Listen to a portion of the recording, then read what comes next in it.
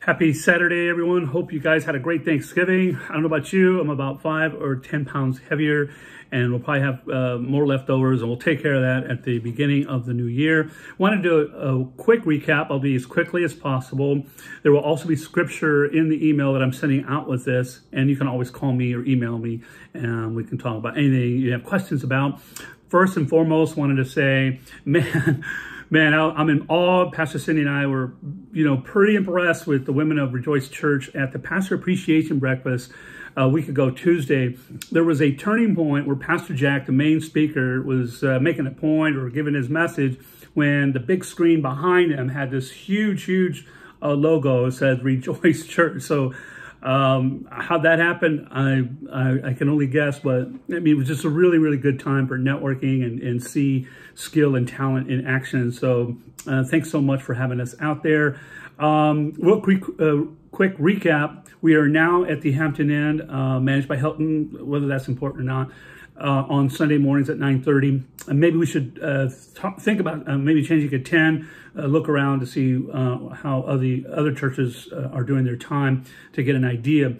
But it's an opportunity to have a fresh vision of Jesus. In our in this particular phase in our, in, in, our ministry, I think it's healthy for us to have a fresh vision of Jesus and um, and, and all throughout we'll probably have to do this over and over again.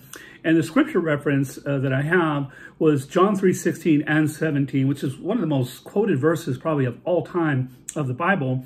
And it goes on to say, and I'll paraphrase, that uh, Jesus, uh, God loved the world. Uh, he loved us so much that he sent his one and only son to die for us. And in 16 and in 17, it, it also goes on to say that he's, he came here to save the world, that he come here to condemn the world, but to save the world. And that looks differently in a lot of different ways in our ministry and in our calling. All of us are called to um, um, to help be a part of that salvation and saving the world, bringing people to Christ. So the question I have for you, um, first question is, why did Jesus really, really die for us? So when we are thinking about what to do about our ministry, what thing, uh, you know, programs or um, how we run service, I mean, we really should be asking ourselves, why did re Jesus really die for us? I think is a good question to ask for us. And the second thing is, is that if we want vision, have a fresh vision of Jesus, well, we can pose the question to God, to Jesus, and say, God, what will you have me do?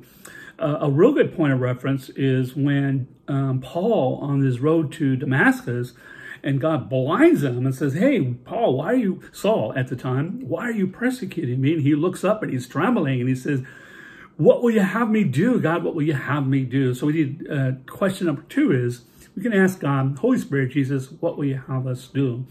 In continuation of having vision or uh, getting clarity or, or having a fresh uh, vision of, of Jesus, there's a, there's a really cool story where um, Jesus takes a man out of the village. I think there's other translations as we pull him out of the town, pull him out of the city, pulls a blind man out of the village to uh, before he restored uh, his eyesight. And uh, he did that because he got him out of his comfort zone. Imagine, you, uh, we're telling Jesus, hey, hey, hey, hey I, I, I want to stay here. Any healing you want to do on me, any answers to our prayers, um, can you please um, do it while we're here? And that's not what happened. He pulled the man out of his comfort zone and also put him into a, a new environment. So think about it. We're, pulled, we're, I think we're being pulled out of the house churches. So thank you, Beverly and Walt and uh, Dolores and Ernie for your place for us to have worship.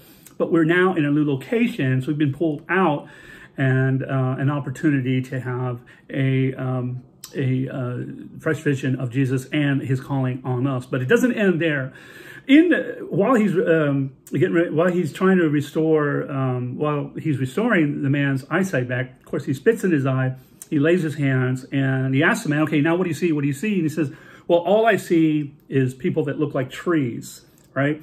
And so Jesus puts his hand on him again, and um, he says, "Okay, what do you see now?" And then he had this fresh vision.